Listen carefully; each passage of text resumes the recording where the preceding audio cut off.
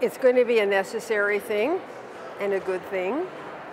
Uh, we will need to make sure that that access is, is truly equitable and that the terms of access, particularly in the developing countries, uh, are such that uh, we're not putting people's lives in harm, we're not exploiting them, we're not invading their privacy, uh, that they have equal access.